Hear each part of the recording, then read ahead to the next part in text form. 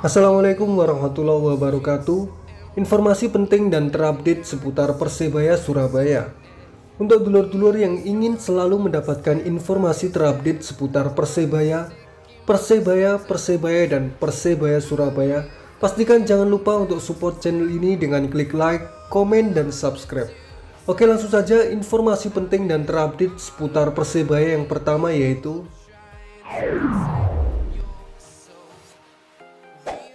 Di masa silam, Aji Santoso sukses menjadi komandan skuad The Dream Team Persebaya Surabaya.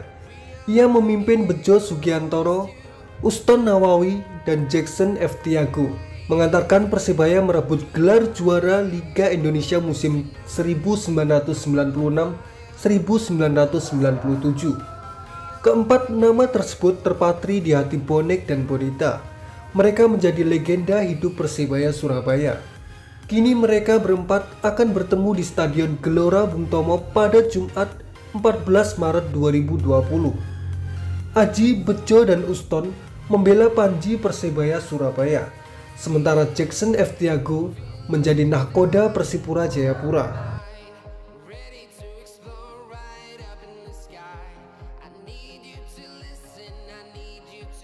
Saat menjadi kapten tim Persebaya Surabaya, Aji ketika itu berusia 27 tahun, sedangkan Jackson menginjak usia 29 tahun. Sementara Uston dan Bejo merupakan rising star tim kebanggaan Bonek dan Bonita. Dalam pertemuan kedua saat tim, itu Uston berusia Aji, 19 Bejo tahun. dan Uston mengenang gaya permainan yang menjadi ciri khas Jackson saat bersama-sama berkostum Green Force. Tak hanya itu, juru taktik asal Brasil tersebut dianggap memiliki aura juara karena pernah menjadi pelatih saat Persebaya juara Liga Indonesia musim 2004. Saat saya sama Jackson, kami menjadi tim yang selalu bermain menyerang. Sosoknya sangat tajam di depan gawang lawan saat masih aktif bermain. Sekarang sebagai pelatih, saya lihat Persipura dikendali coach Jackson cukup impresif, kata Uston Nawawi. Sementara itu, Bejo mengakui jika Jackson memiliki semangat arek Surabaya. Menurut arsitek kelahiran Sidoarjo itu, mantan pelatih Barito Putra tersebut piawai membangkitkan mental juara tim yang diasuhnya. Selama bermain, ia memiliki ambisi dan selalu termotivasi untuk menang. Tegas ayah dari Rahmat Irianto itu. Di sisi lain, Aji memuji kualitas mantan jebolan klub Botafogo dan Flamingo itu semasa menjadi pemain maupun pelatih. Buktinya selepas membela Persebaya, Jackson malang melintang membela klub-klub besar di Indonesia. Saya sangat tahu sejak dulu semasa bermain kalau Coach Jackson pemain yang sangat berkualitas. Sekarang sebagai pelatih, Jackson punya keseimbangan antara menyerang dan bertahan tutur pelatih Persebaya Surabaya Aji Santoso. Trio legenda Aji, Bejo dan Uston sepakat mengesampingkan perasaan pribadi dan memilih fokus ke tim. Mereka siap bersikap profesional menghadapi mantan rekannya itu. Sekali lagi, untuk dulur-dulur yang ingin selalu mendapatkan informasi terupdate seputar Persebaya, pastikan jangan lupa untuk klik like, komen, dan subscribe.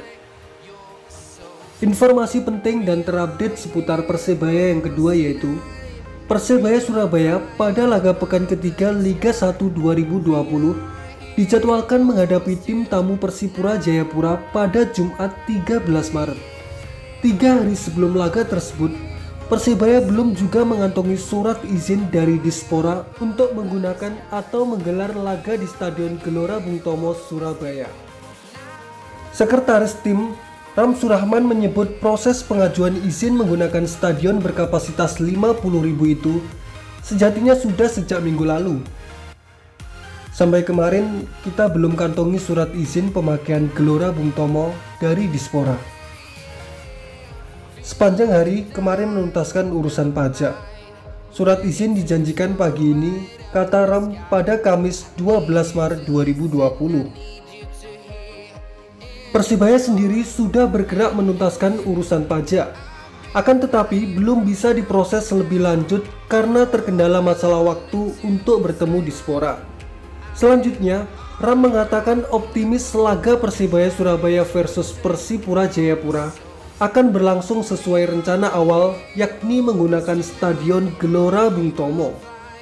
Pajak harus kita beresin dulu, tuntas ternyata Dispora jam 15.00 sudah tutup. Pagi ini kita mulai urus lagi, imbuh Ram.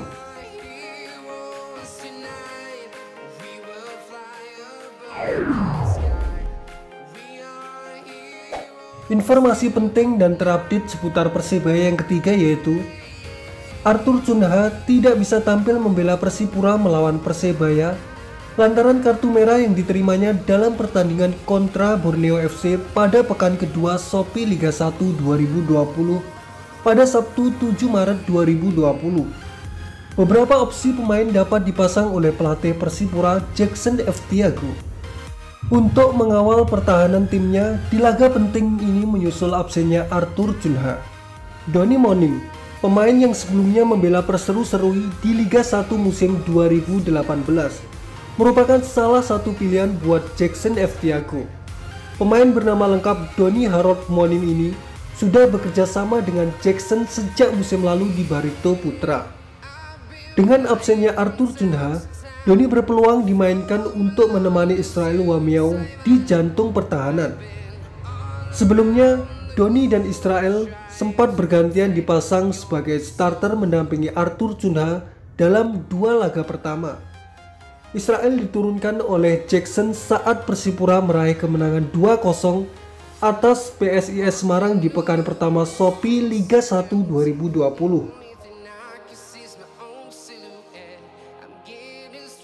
Duetnya bersama Arthur Cunha saat itu tidak mampu dibobol oleh lini depan PSIS Semarang. Doni ganti menjadi starter ketika Persipura takluk 0-2 dari Borneo FC di laga kedua. Selain kedua nama tersebut, jangan lupakan juga bek tangguh berpengalaman Ricardo Salampesi. Mantan pemain tim nasional kelahiran Ambon ini sudah sangat identik dengan tim dari kota Jayapura tersebut. Belum pernah dimainkan di laga-laga sebelumnya, Ricardo siap menjalani debutnya di kompetisi musim ini pada laga kontra Persebaya mendatang. Informasi penting dan terupdate seputar Persebaya yang keempat yaitu Berikut adalah head-to-head -head Persebaya Surabaya versus Persipura Jayapura. Pada Liga 1 2019, 24 November 2019, Persebaya berhasil menang dengan skor 1-0 atas Persipura Jayapura. Pada Liga 1 2019 2 Agustus 2019 Persebaya lagi-lagi menang 1-0 atas Persipura Jayapura. Pada Liga 1 2018 30 Oktober 2018 Persipura berhasil menang dengan skor 3-1 atas Persebaya Surabaya. Pada Liga 1 2018 29 Mei 2018 Persibaya versus Persipura berhasil dengan hasil akhir seri yaitu 1-1. Pada ISL 2010 atau Indonesia Super League 16 Mei 2010, Persipura berhasil menang dengan skor 2-1 atas Persebaya Surabaya. Pada ISL 2010, 22 November 2009, Persebaya kalah dengan skor 0-1 atas Persipura Jayapura.